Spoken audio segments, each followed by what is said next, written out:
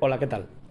Vinita conoció a Jesucristo, como muchas personas, llena de problemas, pero al conocerle sintió que por primera vez podía descansar y tener la seguridad de que todo estaba en sus manos.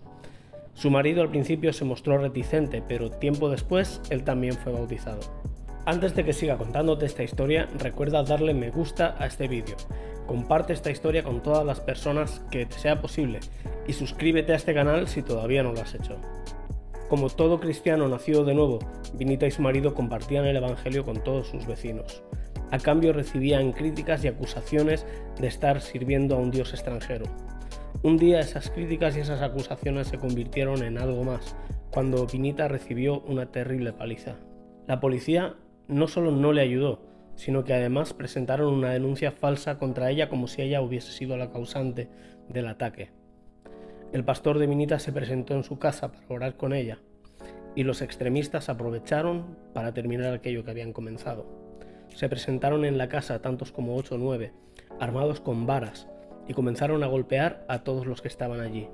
Milagrosamente todos salieron con vida, pero con muchas lesiones.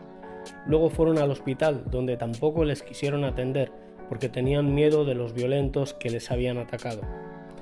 Los colaboradores de Puertas Abiertas cogieron a Vinita y al grupo de personas que estaban heridos y los trasladaron a otro hospital, donde se hicieron cargo de todos los gastos médicos. Tras un tiempo en el hospital, por fin todos están sanos. Vinita llegó a su casa y encontró también todas las destrozas que los violentos habían hecho. A pesar de todo eso, ella tiene esperanza, no tiene miedo porque sabe que no está sola. Ella dice que si Jesús perdonó a sus enemigos, ella también tiene que hacerlo. Gracias a tu colaboración no solo se han podido pagar los gastos médicos de Vinita, sino que también se le ha pagado para que pueda tener un apoyo legal en la falsa denuncia que se presentó contra ella. Por favor, sigue orando por los cristianos en India.